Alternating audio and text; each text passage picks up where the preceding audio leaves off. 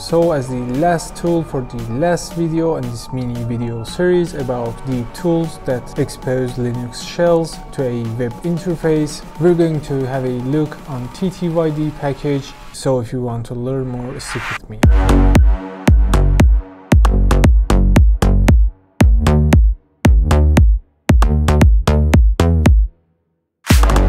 Hello and what's up guys, Medium Guy here and in this video we're going to see how to install and make use of TTYD which is a tool to expose our Linux shell through web interface and access it from a web browser. So, so far we've had many other tools that had the same features plus some unique features for themselves. Also, I'll put the link down below so you can check them out too. So without any delay, let's get down to work. So as you can see, I am in the official GitHub repository page for TTYD as it is stated over here. With this, we can share our terminal over a web interface. So here we've got the release section that we can download whichever version that we want to use. And over here on the README section, we've got a summary of how to install and make use of this tool. So as we can see, it is written with C language. And if I scroll down on the installation section, we can install it with package managers and also we can install it by downloading it from the release sections and directly using its binary files. So for installation, I'm going to use wget and download the file directly from the repository. So if I go to VS Code, you can see that I've got a README file on the remote Linux access directory on TTYD subdirectory. So I'll put all these files and configurations and everything on my GitHub repository where you can find the link down in the description section. So basically in this readme file, I'll put the relevant links and the commands to install TTYD and some examples to make use of the TTYD CLI tool. So I'm just going to copy paste this link which will try to download the TTYD version 1.7.3 which is the latest version of the time of recording this video. So if I hit ls you can see that the TTYD binary file is downloaded successfully. And if I hit chmod plus x and passing the TTYD file I'll hit enter. Ls again you can see that it is green and it is now an executable file so right now by simply saying dot slash ttyd i'll be able to use this tool but if i want this to be accessible from every directory on my linux machine i'll simply copy this executable file to slash user slash bin directory. So for demonstration purposes, I'm not going to do that and I'll use the dot slash ttyd. So going back to the documentations on the usage section, here we have the options that we can pass when running the ttyd command. So we can define things like dash p or dash dash port to define the port that the web service will try to listen on. By passing dash i or dash dash interface, we are able to define the interface that the web service will be binding to.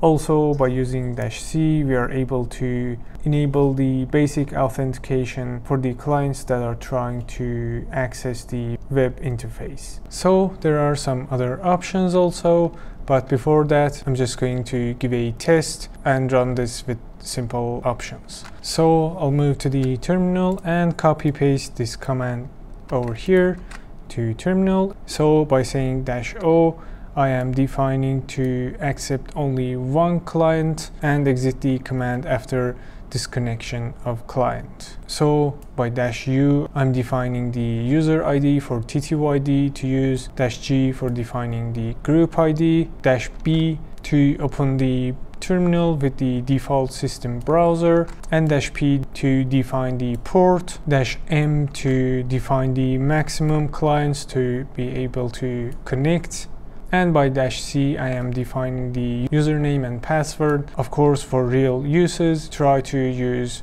complicated username and password for basic authentication.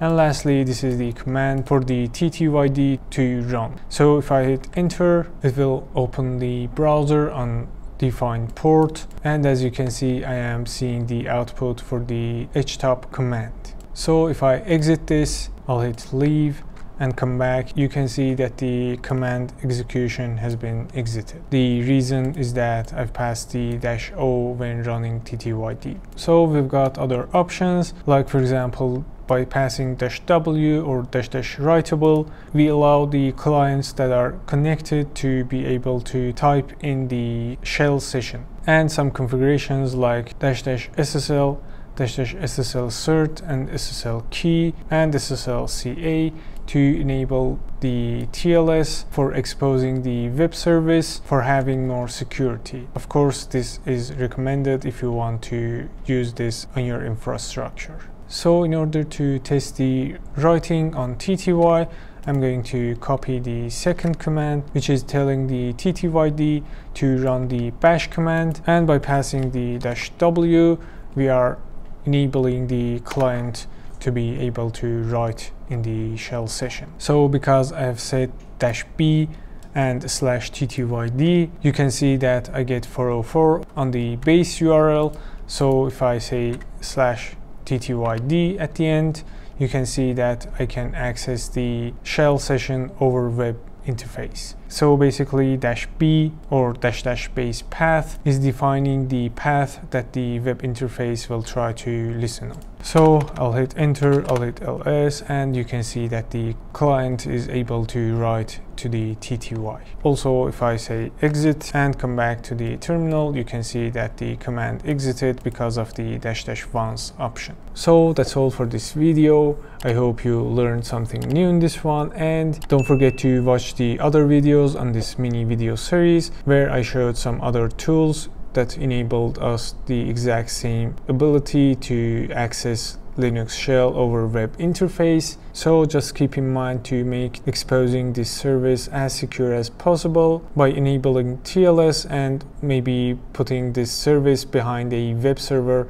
like Nginx and enabling features like IP restrictions and things like that. And also if you want to learn more about making use of Nginx's features, I've got a whole video series about that that you can find the link down in the description section.